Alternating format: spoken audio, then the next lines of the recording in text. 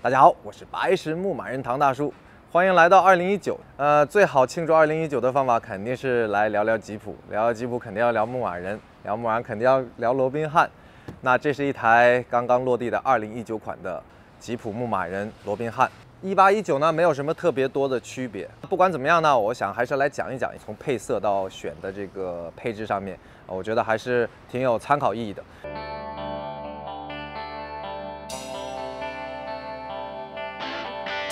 We can choose to stay in our bubble of comfort or go anywhere right now without a plan, without worries and fears, and without notifications. Just you and your Jeep. You are going to lose comfort and convenience, but you will see the best places, people, and see how little you really need to be happy. Eat, sleep, Jeep, repeat. To all Jeep lovers, this is You Can Be Happy. When the pavement ends, let the fun begin. Yeah. 首先，咱们从车的颜色开始聊。呃，一八款之后呢，出了一些新的颜色，老的蓝色、绿色、橙色、黄色这些都有一定的变化。 那永远经典的肯定还是白黑两色啊。这台车我觉得唐大叔以前提过，白色车配白顶可能是我最推荐选这个我们叫 Body Color Top 这一部分的。呃，最主要是什么呢？因为罗罗宾汉这个级别的话呢，它这些标志啊、钩子啊都是红色的。红配白非常好看，红配黑也非常好看。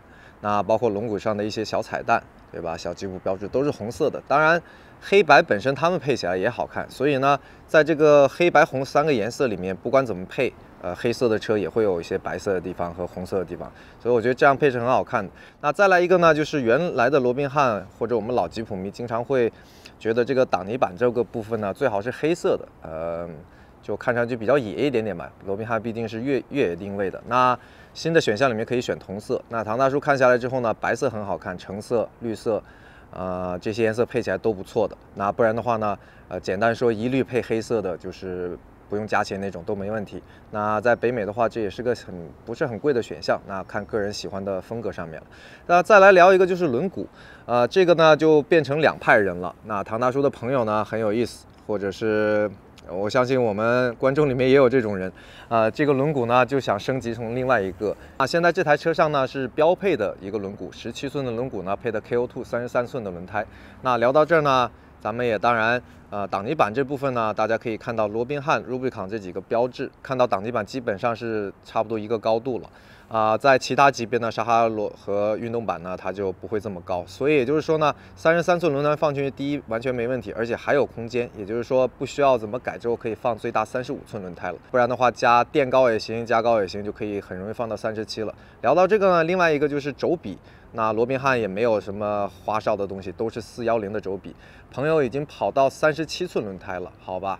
那三十七寸轮胎也是带得动的。当然，将来如果随着你呃车身上面啊加了配东西啊变重啊，你可以考虑去改轴比。但是呢，八速变速箱配这个四一零的轴比已经非常带得动了，所以这也没问题了。那从风格上呢，大家也看得出来，白色呢它会车的比较显大，所以这个轮子显得小，其他颜色上没这么明显。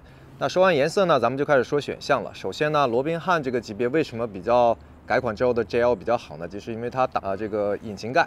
首先，引擎盖这里呢是独一无二的样子，对吧？既有样子好看，也有功能性的，那进气会更多一点。当然，这也和罗宾汉它呃轴比比较大，可能呃工作起来会稍稍热一点点也有关系。那功能性和样子，但是呢，老款里面呢，基本上除了罗宾汉的这个贴纸，你是看不太大出。呃，到底是什么级别的？第二个呢，很重要的选项呢，也是唐大叔非常推荐的。呃，现在既然原厂可以选 LED 的，这一个是灯组，所有的灯呢都会变成 LED，包括倒后的啊、雾灯啊、头灯，那这也是非常划算的一个选项。从原厂，不然改的话，可能一个头灯好点的 JW Speaker 啊，或者一些牌子就要上千块了。所以我觉得这是特别好的。另外呢，就是金属防撞这一块。那从这个风格上面看呢，其实很像以前 AEV 的那个牌子。首先，它可以提供额外的保护。再来的话，呃，这个两边呢，两个头都是可以卸掉的。那如果你跑三十七寸轮胎或者越野的时候呢，可以考虑把它弄掉。不然的话呢，这个脚呃，另外也是个绞盘 ready 的，winch ready，也就是说，你要加绞盘直接呃加一个底架，直接加绞盘。所以这个金属防撞呢，当然如果你是完全知道自己城市开啊，不想要额外的重量，你可以考虑不选。但我觉得 LED 灯组和这个呃金属防撞是个挺不错的选项。再来呢，上次唐大叔做这个定制车的时候呢，哈哈哈，很无视了这个无钥匙进入。那现在看来呢，呃这个选项挺好的，因为呃里面都是一触启动了嘛，那钥匙就不用再拿出来了。所以呢，这个选项如果有的话呢，或者大家感兴趣可以考虑了。再来，现在有点暗，看不出来。那这个车呢，配了一个盲点监控这么一个配置，一个小三角在旁边，如果有人进入你的盲点或者怎么样啊，你能看到。另外选了这个 safety 组之后呢，同时呢也会一起升级后面的 sensor，就后面滴滴滴停车的 sensor，那都会有 sensor 了啊，这个很不错，因为刚刚提的，如果金属防撞呢，你又选了这个选项之后，那都是金属的，而且给你打了洞，在后面要去弄的话，可能相对麻烦一点点。所有的车另外现在都有这个倒后影像了，好吧？加拿大版的都有倒后影像了。另外一个可能大家会考虑的，也就是拖车组了。如果喜欢拖车组，或者说将来会有改车的计划呢，那这个可能大家最好考虑一下，因为拖车组倒是其一，对吧？拖东西以后就方便了。但另外的话呢，你可以在里面会多了四个这个 aux，就是那种。可以将来连线啊，不管手台啊、灯啊控制的都在里面了。所以这个选项呢，呃，跟大家说一下吧，是什么东西？你可以考虑是不是可以选拖壳组，是不是喜欢这个？那后面这个尾灯呢，啊，中间白白的呢，也就是刚刚 LED 组里面也是升级的。呃，这个最实际使用里面呢，就是你咱们出去露营也好，干嘛也好，外面黑灯瞎火的嘛。那如果呃，这个倒后挡一打的话，配合倒后影像，那顺便一提的话，牧马人现在倒后影像这个呃这个感光度是非常好的，而且荧幕非常清楚，所以这个 LED 灯呢，别看小小的，那给你一点点照明在后面，你可以倒车的时候，特别是在外面的时候会特别好。再来，咱们就顺便一提，啊，原来的门晃来晃去的，特别是呃，你也别说，经常很多长者会跟我们一起玩越野的，家里的爸爸妈妈、爷爷奶奶，有时候他们想体验一下，啊，上下门挺蛋疼的，上上下下不太爽。那现在的话呢，呃，当然后面扶手这些都有了，前后扶手都有了，上了会好很多。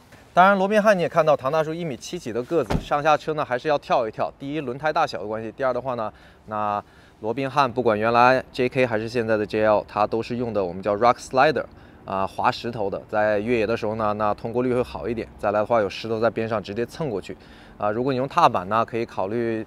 就是金属的踏板，不然原厂的呢，可能只有撒哈拉这种踏板，那它是塑胶的，就容易影响通过率或者撞坏。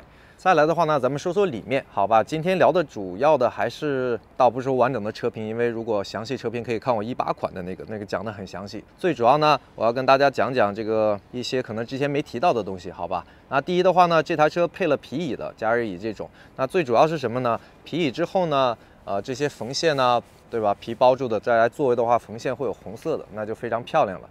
再来，大家注意到，或者很多人都喜欢这种红色的这个我们叫 panel，对吧？这种面板，这个要注意啊。所有的颜色基本上，呃罗宾汉配的都是这个颜色，只有呢一些特殊的颜色。黄色我还没看过这个车，但是我已经朋友开回家这种绿色啊、橙色啊。那这些配的都是钢灰色或者深灰色的面板，所以这一点呢，大家注意。如果喜欢这个板，当然回头你想怎么改都可以了。最主要大家也知道，对吧？颜色太多了，一般超过三个就比较难配了。那你外面橙色、绿色的颜色，里面又搞一个红色的，就是说老实话，从设计角度不一定很好看。所以这也是其中原因之一。啊，再来一个呢，这个车上没有装，那一九款全新的一个就是一键一键打开的超大天窗那种。但是那个是个挺贵的选项，在北美也是快四千加币的一个选项了，好吧？那我会更建议在撒哈拉上面装，我感觉整体的风格啊，那个样子会比较漂亮一点。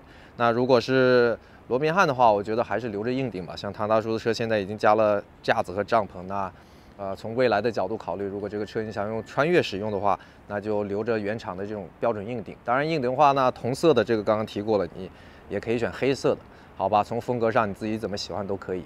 好的，今天用相对简短一点的篇幅来聊一聊一九款的啊，详细的评测可以看我一八年那个，会讲得很细。还有另外一个视频可以看，就是呃我定制那个视频。那两个参考着看，我相信大家会很清楚自己想要一个木马人什么样子了。还没订阅呢，记得赶快订阅了。喜欢这个视频记得点赞，如果不喜欢呢，最好不要给我差评了，下面留言就可以了。当然啦，如果你住在加拿大温哥华或者在附近呢，可以联系唐大叔啊，买吉普支持一下业务。非常非常感谢大家的观看，我是白石木碗唐大叔，下次再见喽，拜拜。